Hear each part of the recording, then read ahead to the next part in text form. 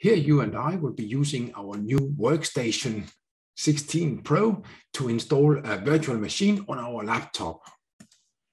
We will have to find the operating system out on the internet. It has to be a .iso file. We will download that file to our laptop. We will use that file in Workstation. We will use it to create a Ubuntu machine.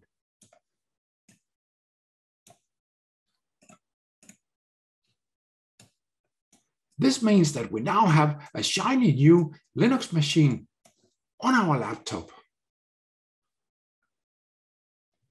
So let us bring up our browser and get our hands on this uh, Linux Ubuntu ISO file.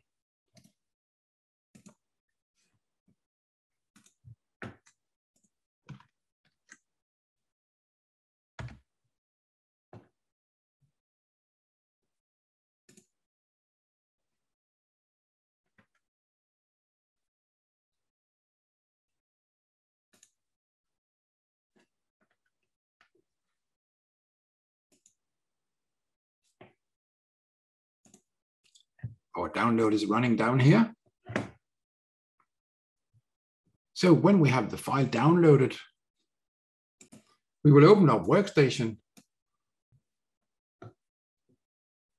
I will go to Files or File, New Virtual Machine.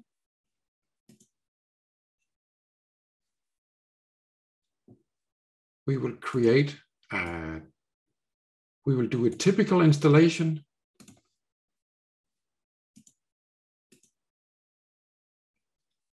Now we have to browse to our download folder and find our newly downloaded brand new ISO file with our Ubuntu operating system in it. Open that one. Next.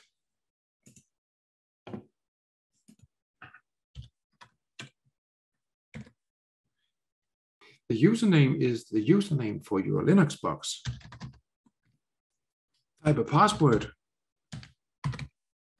Do I have to say that you have to remember your password? Be careful, remember your password. We will call our Ubuntu machine Ubuntu underscore base. As this is going to be our base computer, our base Ubuntu that we later can clone. So we don't have to do this installation again and again. So we can simply clone the machine if we need a new one. I'll go for 15 gigabyte of maximum disk space.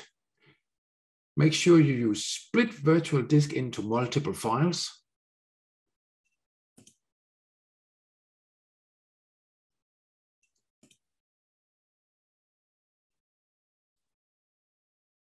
And there we have our new machine. You will have it over in your left side pane here.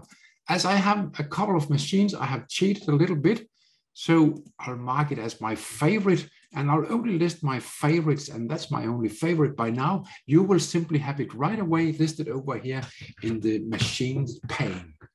Click it and it is selected. We can now power it on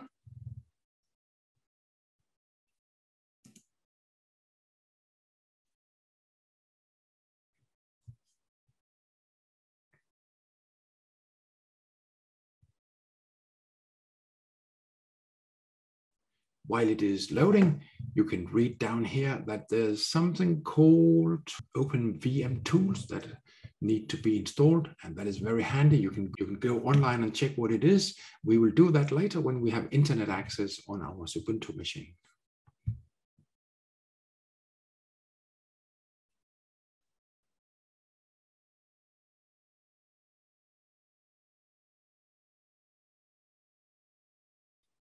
As it is the first run of this machine, it takes quite some time to copy the files in and get them sorted for your operating system. And it is restarting. And finally, here we are. with our shiny new Xubuntu machine. We remember our password.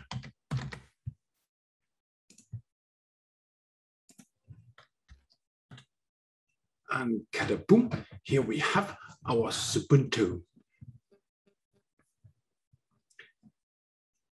As this is networking class, we will raise up and look at our network connection, connection information.